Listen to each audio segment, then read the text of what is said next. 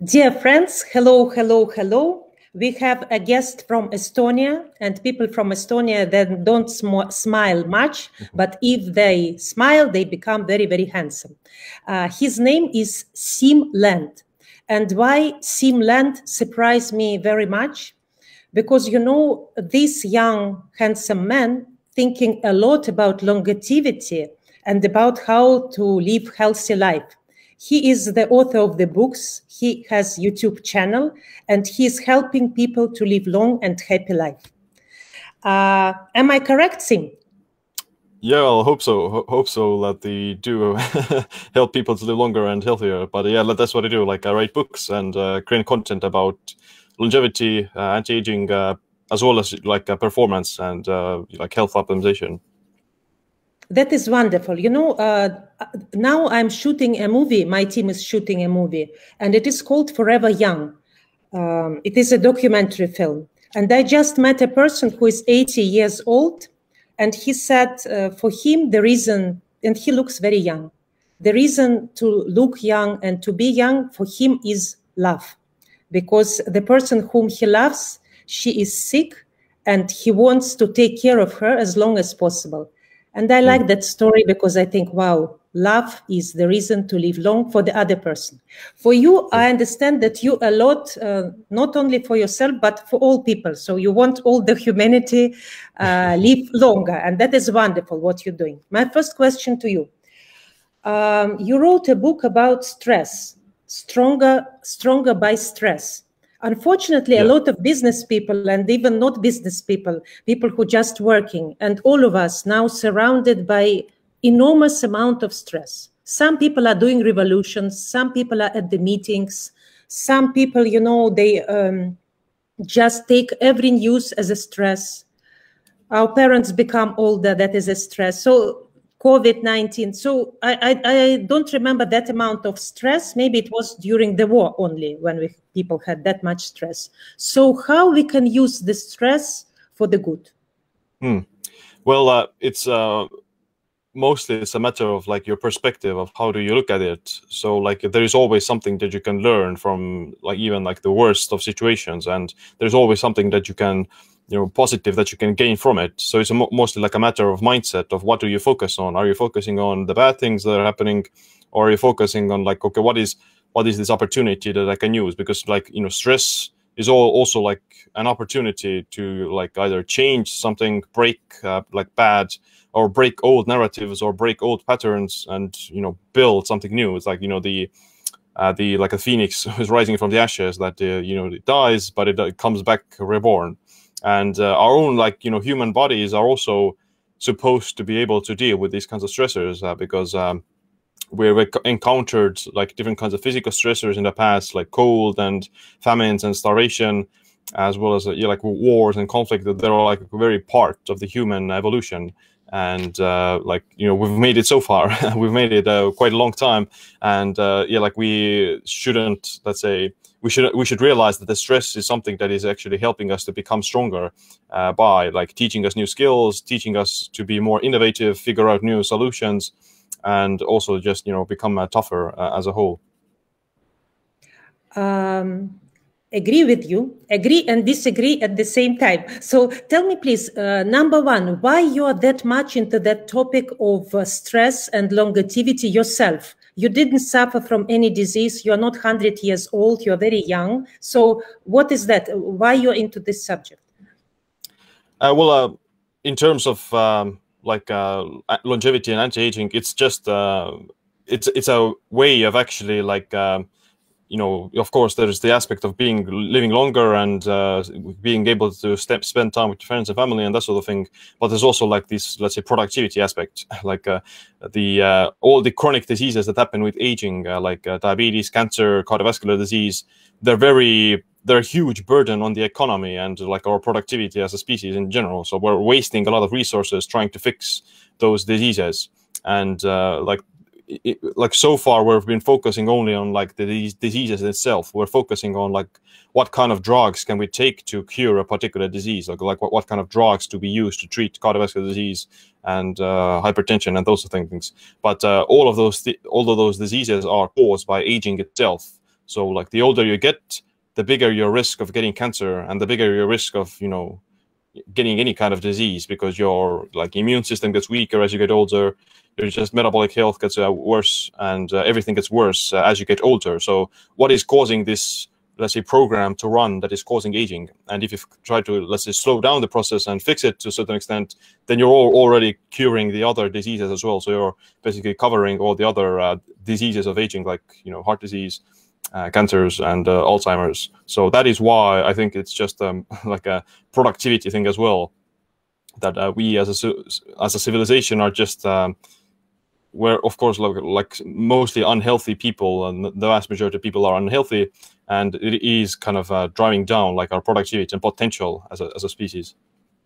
But uh, for you, uh, Siim, uh, I can see that you are very healthy and you didn't, uh, thanks God, I touched the wood, you know, I touched the wood. Uh, um, you didn't have any disease. You were doing sport, you were doing weightlifting. So why, uh, why this topic of concern to you? Well uh, like uh, i don't want to get sick or like i don't want i don't want to uh, it's like a preventative thing for me. Like um, i do it so that uh, i wouldn't like you know get sick and uh, put uh, any like additional burden on my friends and family if i were to be sick so to say. So yeah for me it's a it's a matter of preventative healthcare. That is wonderful. So let's go about this thing about fasting I saw your uh, interview on YouTube channel how you were fasting 72 hours and after fasting 48 or 60 hours you were looking better than you were looking in the beginning. So how all that is possible and uh, why you're doing it, why you're doing that? Yeah, well, uh, fasting or some intermittent fasting, as it's called, it's a very common, like an ancient practice that has, been done for yeah thousands of years by different kinds of societies, and uh, usually people do it for like uh, religious purposes or spiritual purposes, but it also has a profound effect on the body and uh, the aging process. So what happens during fasting is like uh, basically in a in, in, a very simple way is that the body starts to clean house. It starts to uh, eliminate this uh, junk material that accumulates there. And you know, the older we get, uh, the more junk we begin to accumulate. And if we never like clean it out then eventually it's just going to start to slow down the other processes, the other healthy processes that are supposed to go on. Like we get worse uh, in our cognition, and we get worse in our like um, like muscle muscle function, and uh, even like digestion and those things. They they they get accumulated with junk, and the fasting can is a way to kind of eliminate that and kind of eliminate these uh, old zombie cells that are also you know moving around and spreading stress and spreading inflammation in the in the body. So that is one of the ways that fasting can help to kind of uh, slow down some of the aging process and uh, also treat some of the diseases. What were you feeling when you were doing it? Because you know, for us, for people who never did it, it sounds like a horror film. You know, like you should starve to death or you should feel fatigue or you should just but you were even participating in some events and you even said that you went to your brother to see his rock concert so actually you were doing a lot of stuff so yeah. what are the feelings how are you surviving that well uh, like uh, it's initially it is hard if you're not used to it. If you're like used to eating uh, a lot uh, and very frequently then it's uh, something uh, somewhat stressful. So you get hungry and you get the cravings and you get your mind gets somewhat distracted.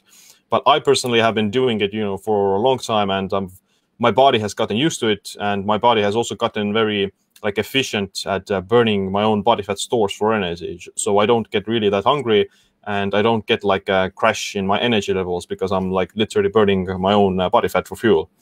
And uh, what, as a consequence of that, what happens is also this somewhat of a heightened sense of uh, mental clarity. So I I don't really experience like any massive cravings and I don't experience this uh, like fluctuations in blood sugar, it's a very like a blissful state actually that uh, your brain tends to have like a little bit more energy. So you're actually feeling when you are fasting even better than when you're not fasting. Well, a, a little bit. Like uh, I, I still don't have like um, you know as much strength or power as I would have been eating. So of course, like I'm I'm not like a vigorous in terms of uh, like my physical movements or something, uh, but uh, in terms of like the mental well-being, then I do yeah it's a like a very else like a very yeah like a semi blissful state that uh, is, is, somewhat enjoyable to a certain extent. Uh. So uh, tell me, please. Uh, I read a book by Paul Bragg. Maybe you heard about that, and it's like explains the easy way of fasting, and it's recommended to start from one day a week at last to to feel it because maybe if we go immediately into 72 hours a lot of people will die after that interview and i don't want to do it. So really how you recommend to start trying it and start doing it? You said we need to clean the house. Actually yeah. we cannot clean immediately all the house at least how to start doing that? Yeah yeah. Uh, well you don't need to go on a, like a long fast immediately. Um, so you can even do something that is called like time restricted eating, where you basically just skip breakfast and you eat uh, lunch and dinner. So that is also like a form of fasting, and you do get like some of the benefits um, in smaller amounts. So that is that is exactly that the thing that you can start off with and and uh, kind of uh, teach your body to uh, what is what it's like to be fasting and uh, like from there you can take it into something like you can do like once a week you eat only once a day. That is also like a good good example of that. And uh, after that you may want to consider doing like a 48 hour fast or a 72 hour fast. But uh, yeah like you don't necessarily need to push it that, that long. So fasting is only like a one single part of this anti-aging process. And uh, it's not inherently better than others. So uh, you know, as long as you're still eating healthy and exercising, then you don't need to go for these like very long fasts. Like some people go for I don't know, ten day fasts or seventy day fasts. Uh, so th that's something I don't really think that is necessary, and it may actually be more harmful than good. So yeah, like I think uh, the kind of maximum benefits that you tend to see are around like 72 hours, um, and probably you don't really need to go for longer than that. And uh, I personally do it at maybe like uh, three three or four times a, week, a year uh, these uh, 72 hour fasts. So like once every quarter is uh, probably like a good good interval to do it. And a lot of days i'll do more like this intermittent fasting that i just eat maybe once or twice a day. Well this is this is nice to know and i think it will be nice to try at least once day a week. Why not? And there's so many people who say that it will accumulate your own cells your uh, you know stem cells and that that it's you know that it's something new and very interesting. Uh, you said that it's only one point which we concentrated. Right. what are the other points of uh, your study? What else are you doing besides this uh, using the stress right. and uh, also fasting? What else are you doing? Yeah well i think uh, just eating the semi-clean diet is uh, also very important. So like your food is something that you you know consume on a re regular basis, and it is required to get all the essential nutrients that you need and also give you the energy. So uh, you can't be fasting for forever because eventually you're gonna run out of energy, and uh, that's where your body begins to break down. Uh, so yeah, like a good quality nutrition, which mostly just uh, like whole foods, uh, fruits, vegetables, meats, fish, eggs, tubers those are the things. Just uh, whole natural foods tend to be the healthiest because uh, you don't want to be overeating calories either because uh, calorie excess, you know, gaining weight, uh, becoming obese, um, eating just higher calorie foods tend to also be harm harmful for longevity. And uh, animals that live longer tend to be experiencing some form of like calorie restriction. So you don't want to be, you know, gaining, becoming obese uh, from eating too much food and too many calories. So that's why like a whole foods, you know, vegetables tend to have very few calories, and uh, that's why you can, you know, be satiated from them uh, without over consuming calories. And of course, exercise is very important. One like underrated exercise form of exercise or anti-aging is uh, resistance training. So like um, you know weightlifting and uh, muscle building is very important because uh, as you get older, your like muscle mass and bone density begins to deteriorate and it's harder to like maintain muscle mass. And uh, if you have less muscle mass then it's also um, easier to get like uh, diabetes and become obese because muscle is uh, like a metabolically active tissue. So the more muscle mass you have then it's easier for you to stay lean it's easier to uh, burn calories and it's easier to have like stable blood sugar levels. So building muscle throughout your entire lifetime with uh, resistance training is a very um, preventative uh, strategy for uh, anti-aging and being more functional in your later years. Because if you don't do, if you have like you know bone uh, low bone density because of not you know strengthening the bones with exercise, then you're also like at a higher risk of osteoporosis and uh, like hip fractures. So like hip fractures, like one one in four people who get hip fractures that die within a year. So, so because of the hip fracture. So, uh, yeah, like older people are very um, at risk of fragile. it. Like, they are very yeah. fragile. Oh yeah, my exactly. God! You know, uh, you know, uh, you seem sounds like a doctor. I don't know. I think you should be also doctor at the same time because you studied that topic that much. But I know that you not only doing that, that you were anthropologist before. So tell me, please, since your first profession is anthropology, uh, our diet changed for the last hundred years. Let's say why we start thinking about this dieting. I think people hundred years ago they didn't think about that. Yeah, well, of course, uh, people you know a few centuries ago didn't have access to like that many calories, so they were all, all always um, you know barely making ends meet, and uh, they had to work for their food all the time. So they had to grow it and uh, you know uh, plow the fields and uh, you know that sort of thing. So that they were burning a lot of calories as they were obtaining their calories. Uh, but uh, nowadays we can just eat thousands of thousands of calories without burning any calories at all, and that just creates this situation where we're exposed to that much nutrition, but we're not using it, and with therefore our body is forced to store it as as body fat. So uh, yeah, that's the biggest uh, kind of um, mismatch in terms of uh, our like the evolutionary environment and the modern environment. And of course, there is also the discrepancy between the kinds of foods that we eat. So in the past people ate um, like let's say hunter gatherers. Hunter gatherers um, foragers they ate uh, like a more higher protein diet so they ate more meats.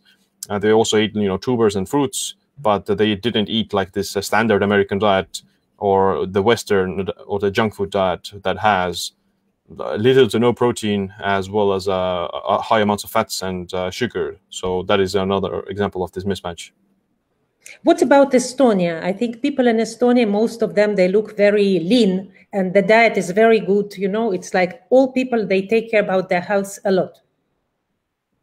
I would say so. Yeah, like it's definitely more than the other countries that I've uh, been to, and uh, yeah, well, the yeah, I think uh, the Estonians they don't, at least like the people don't really uh, bother or they don't uh, they don't have the means to let's say go to restaurants that often or like they don't go to the uh, takeaway or takeouts uh, where like junk food restaurants that often. So that is also part of the reason. So like if people were to cook more of their own food then they would like also make better choices a little bit but uh, they will also get like fewer calories because in the restaurants all the foods are very um, higher in calories because of like they're cooked in a lot of uh, oils. Uh, they're also uh, you know maybe made slightly hyper palatable with different sauces and types of things so that you would be more motivated to eat. So cooking your own food at home and uh, yeah, sticking to like whole foods, these kind of traditional foods is uh, probably the the reason why Estonians maybe you know less less obese than the rest of the world.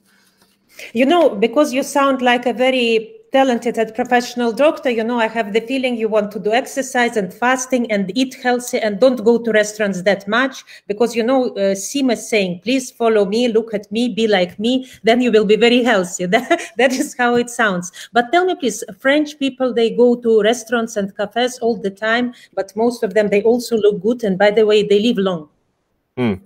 Yeah, yeah. The uh, French uh, actually have a one reason for that, or like one of one of the reasons is um, the uh, like the they use like different kinds of fats also in their cooking. Uh, so they don't use these uh, inflammatory vegetable oils like uh, sunflower oil and uh, safflower oil, canola oil, and uh, they use actually you know butter and lard for their cooking. So the difference between them is that the inflammatory vegetable oils they tend to make your body more insulin sensitive so or more the fat cells become more sensitive towards fat storage and they also promote like inflammation so they're worse for your health as a consequence of that as well compared to the animal fats. Um, and uh, the animal fats are also i would imagine they're also more satiating to a certain extent so if they do eat these you know high fat you know duck or uh, liver pate and those other things they're also satiated from it so they get more nutrients uh, whereas the vegetable oils are mostly depleted from all the nutrients. And there's also like you know the French, uh, the French you know culture isn't like um, they don't eat overeat, so they do eat like higher calorie foods or high fat foods, but they don't overeat either, uh, so to say. So it's not like that they they don't eat uh, the entire duck; they may eat only like a little bit of it. Uh, when you were uh, fasting, I saw that you put uh, in your cup uh, some salt. Why you were doing it? Yeah, well, uh, you know, salt is a essential mineral or sodium, and salt is needed for yeah, like many processes, like muscle contractions and you know heart rhythm and blood pressure. So while you're fasting, your body tends to lose um, some of the salts because you're not eating any foods, and you're just you know mostly excreting it. Um, and uh, therefore, in order to comp compensate for that, then now uh, you adding some salts during the fasted window can be a good, good way to like prevent cramp crampings and pre prevent like you know fatigue and lethargy. Uh, I think, Siim, that you are preparing to going with Elon Musk to Mars. That's why I think you are fully prepared already with all this equipment, with great mind, with knowing how to use the stress and how to use a health, healthy diet and even fasting. That was really big pleasure.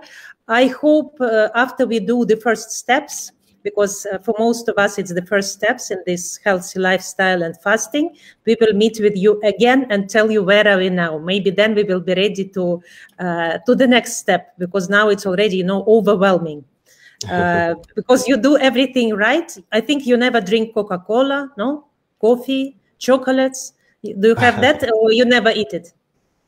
Well, I, I do like coffee is actually like a healthy drink, I think, uh, and uh, chocolate is also has some nutrients and it can be health benefits. Uh, like uh, I don't drink like uh, you know Coca Cola, the sugary version, but like yeah.